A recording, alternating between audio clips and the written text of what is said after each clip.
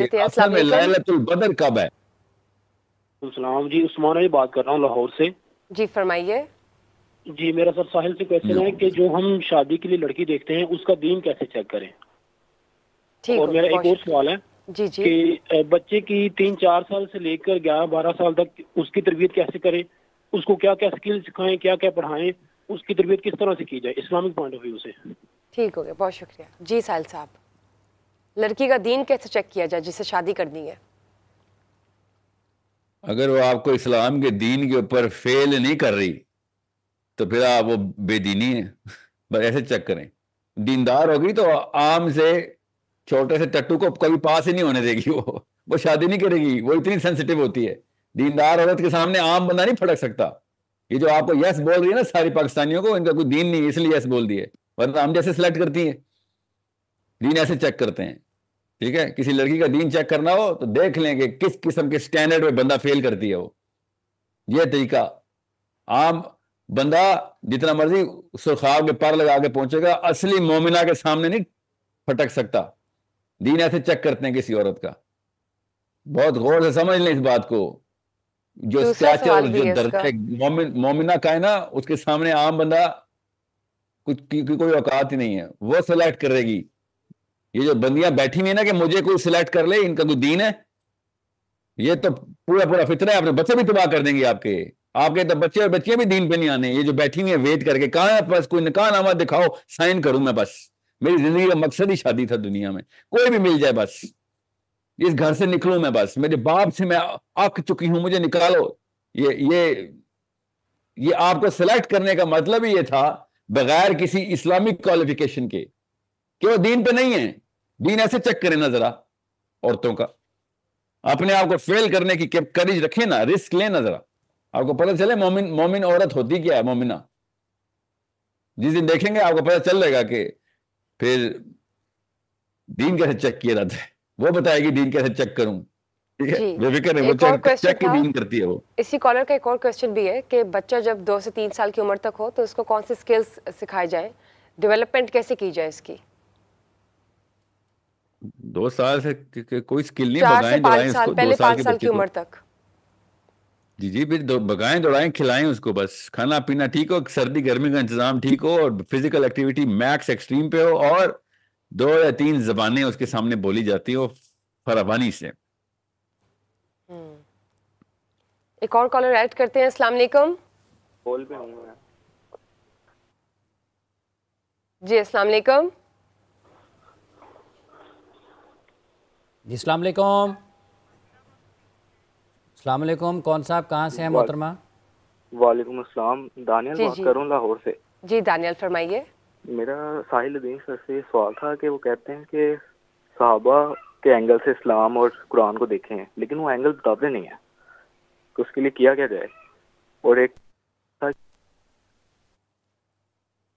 ठीक है। जी साहिल क्या साहब? किया जाए? उमर उमर बिन खत्ताब की ना सीधा पढ़े जरा। आपको पता चले फिर उसके लिए क्या किया जाए? वो बताएँगे उमर बिन खत्ताब रज़ी अन्हु खुद बताएँगे। अली बिन अबी तालिब खुद बताएँगे क्या किया जाए। उनकी पूरी तफसील है हमारे पास। आप पढ़ें। मैं तो ये अस्यूम करता हूँ कि आपने पढ़ी होंगी। जब भी आप ये सुनेंगे ना जो आई होप इनका क्या नाम बताया था उन्होंने? दानियाल। दानियाल जब भी आप सुनेंगे साहिल साहब की बातें समझ नहीं आती। कोई कंक्लूसिव बात नहीं कर मैंने बात ही उससे की है जिसने कोई किताब पढ़ी है जिसने सवाल किया है वो उस किताब से सवाल किया तो मैंने कहा अच्छा पहले सफे कुछ पढ़ के आए होगे तो सफ़ा नंबर छप्पन का सवाल मुझसे किया ना पहले पचपन सफे पढ़े होंगे। सो so, मैं आपको फिर बता दूँ हमारी कौम ना अशफाक अहमद साहब की हिली हुई है। उस दौर में सारे बुजुर्गान ऐसी ट्रेनिंग करते थे। अस्यूम करते थे सारे ज़ीरो पे और अच्छा तरीका ये भी और वो बिल्कुल बेसिक सी बात करते थे। मैं जिस जिस तरह के इंस्टीट्यूशंस का हिला हुआ हूँ, उसमें बेसिक बात करना तजलील होती है किसी के सामने। मैं पाकिस्तान आके शौक में हूँ कि बिल्कुल एबीसी से बताया जाएगा। जी हाँ बिल्कुल। बिल्कुल ठीक करते थे अशफाक साहब समझ गए थे, ज़ाहिर है। बुज़ुर्ग थे। शऊर तो उनके पास था, उनको समझ आ गई थी कि बड़े से बड़ा बाबा भी मिलेगा, उसको ज़ीरो का भी नहीं पता होगा तो ज़ीरो से स्टार्ट कर।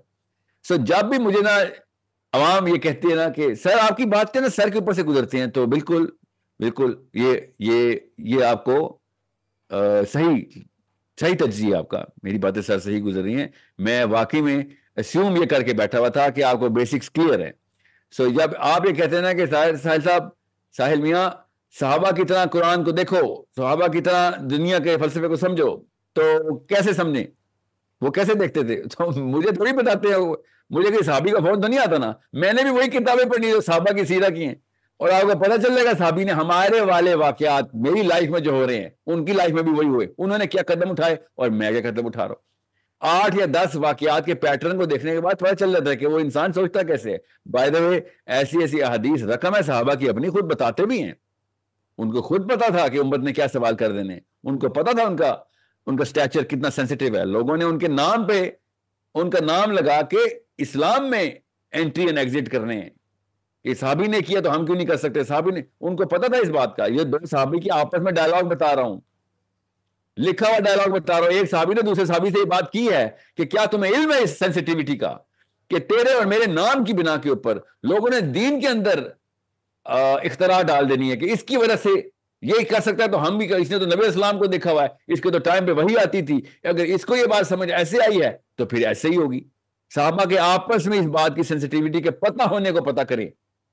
कि कितनी स्ट्रांग साइकोलॉजी के लोग थे। हमें तो यही नहीं पता कि हमारे पोते ने क्या असर लेना मेरे से। सगे पोते के बारे में मैंने नहीं कभी सोचा कि मैं जो आज अपने बेटे के साथ या अपने साथ कर रहा हूँ, मेरे पोते ने उसकी प्रेसिडेंस लेनी है कि नहीं? क्योंकि बीच में से मुझे भी पता है कि मेरी को इतनी औकात है कि मेरा पोता कहे है तो मेरे दादा ने किया था तो फिर ये सही ही होगा। मुझे खुद ही पता है। ये इंफीरियर साइकोलॉजी होती है। सुपीरियर साइकोलॉजी का बंदा इन सेंसिटिविटीज को देखता है, माप, मापता है मेजर करता है, और उसके बाद ही लिव्स अप टू देम और कंसिस्टेंट रहता है। अब उसके पोते नहीं उसकी अगली सारी नस्लें कहते हैं कि नहीं साहिल मियाँ ने किया होगा तो ठीक ही किया होगा।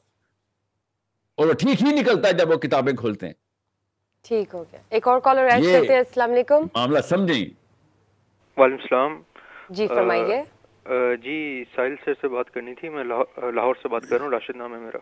जी जी। कीजिए लाइन पे। साहिल सर मेरे थ्री क्वेश्चन हैं। फ़र्स्ट क्वेश्चन ये है कि जो आपके जो नाना थे बाबा लाल शाह ठीक है वो टाइम टेबल वगैरह भी करते थे और वो विदाउट क्लॉथ्स वगैरह क्यों मतलब कि तसव्वुफ में कोई इस तरह का सीन है कि विदाउट क्लॉथ्स वगैरह बैठते हैं?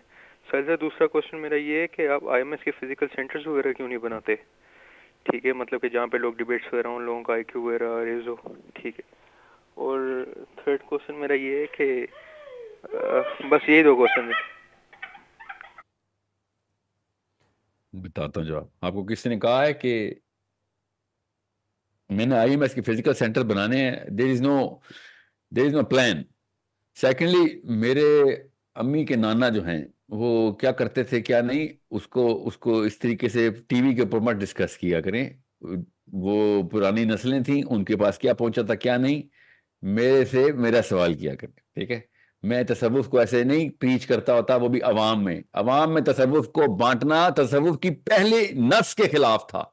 और पाकिस्तान में हर बंदा तसव्वुफ बांटता फिरता है अवाम में। इसका साफ़ समझ आ गई थी कि दुकानदार था कोई। वरना दुकानदार के अलावा कोई काम कर नहीं सकता कि तसव्वुफ की बातें औलिया की बातें और यू नो सूफी इज्म के बेसिक कॉन्सेप्ट अवाम को दे दिए जाएँ।